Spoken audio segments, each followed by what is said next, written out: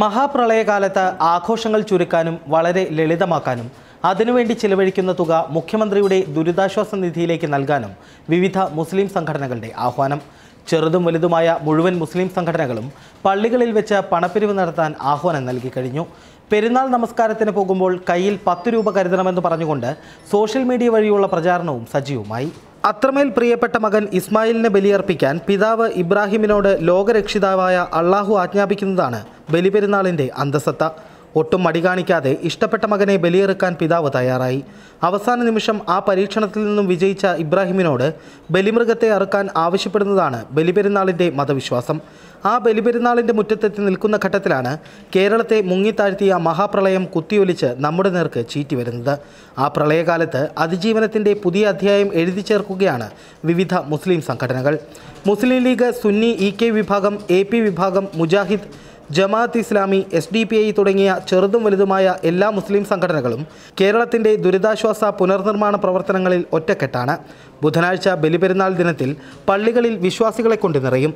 പുത്തനുടുപ്പും ചെരുപ്പും മറ്റ് വിശേഷങ്ങളുമായാണ് വിശ്വാസികൾ പള്ളികളിലും ഈദ്ഗാഹിലും കുതിച്ചെത്തുന്നത്.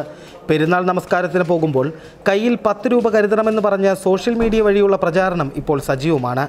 കേരളത്തിൽ ഏകദേശം അൻപത്തിയഞ്ച് ലക്ഷം ആളുകൾ പെരുന്നാൾ നമസ്കാരത്തിന് എത്തുമെന്നാണ് കണക്കുകൾ. ഒരാൾ ചുരുങ്ങിയത് പത്ത് രൂപ വെച്ച് മുഖ്യമന്ത്രിയുടെ ദുരിതാശ്വാസ നിധിയിലേക്ക് നൽകിയാൽ തന്നെ നമുക്ക് അഞ്ചര കോടി രൂപ സമാഹരിക്കാൻ കഴിയും.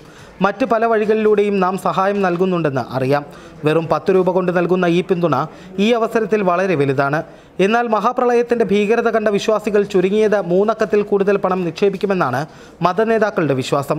ഇത്തരത്തിൽ വിവിധ മതസംഘടനകൾ സ്വരൂപിക്കുന്ന പണം കേരള ചരിത്രത്തിൽ തുല്യതയില്ലാത്ത ദുരിതാശ്വാസ പ്രവർത്തന രൂപമായിരിക്കുമെന്നാണ് വിവിധ മുസ്ലിം സംഘടനാ നേതാക്കൾ വിശദീകരിക്കുന്നത്.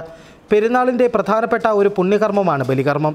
എന്നാൽ എല്ലാം നഷ്ടപ്പെട്ട് ദുരിതാശ്വാസ ക്യാമ്പുകളിൽ കഴിയുന്നവർക്ക് ഭക്ഷണവും വെള്ളവും വസ്ത്രവും മറ്റ് ആവശ്യങ്ങളും എത്തിച്ചു കൊടുക്കുക എന്നത് മതത്തിൽ നിർബന്ധമാണെന്ന് പ്രമുഖ മുജാഹിദ് നേതാവ് ഡോക്ടർ ഹുസൈൻ മടവൂർ പറഞ്ഞു. അതിനാൽ ബലിയേക്കാൾ ഇപ്പോൾ പുണ്യകർമ്മമായിട്ടുള്ളത് ദുരിതബാധിതരെ സഹായിക്കലാണെന്ന് അദ്ദേഹം വ്യക്തമാക്കി.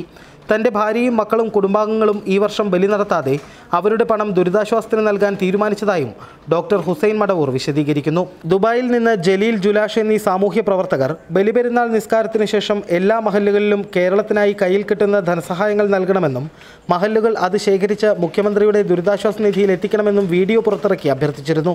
ഈ അഭ്യർത്ഥനയ്ക്കും വൻ പിന്തുണയാണ് ജനങ്ങളുടെ ഭാഗത്തു നിന്നുണ്ടാകുന്നത് ന്യൂസ് ഡെസ്ക് മറുനാടൻ ടി